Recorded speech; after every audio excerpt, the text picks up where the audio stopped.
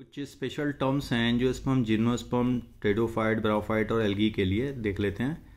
जो एंजियोस्पर्म है, इनको फ़र्स्ट फ्लावरिंग प्लांट और फ्रूटिंग प्लांट्स के नाम से भी जानते हैं। वहीं जिम्नोस्पर्म जो है, इनको फ़र्स्ट सीडेड प्लांट भी कहते हैं। सबसे पहले सीड का प्रोडक्शन ये हुआ।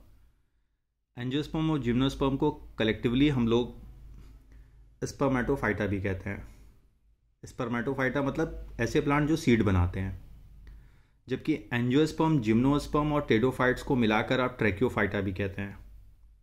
मतलब ऐसे प्लांट जिनमें vascular plant, vascular bundle present होता है।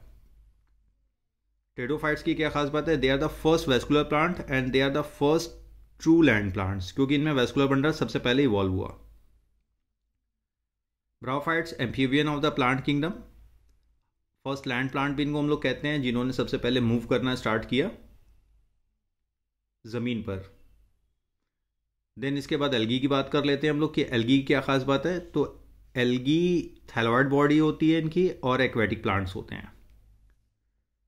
ठीक है, यहाँ कोई सीड फ्लावर का प्रोडक्शन नहीं हो रहा है। तो एक बार फिर से रिवीजन मारते जल्दी से कि एलगी में ब्राउफाइट्स में टेडोफाइट्स में और जिम्नोस्पम में फ्लावर नहीं पाया जाता है, जबकि एंजियोस्पम में फ्लावर और फ्रूट पाया जाता है। टेडोफाइट जिम्नोस्पर्म एंजियोस्पर्म में वेस्कुलर बंडल प्रेजेंट होता है जबकि ब्राफाइट और एल्गी में प्रेजेंट नहीं होता है। Next point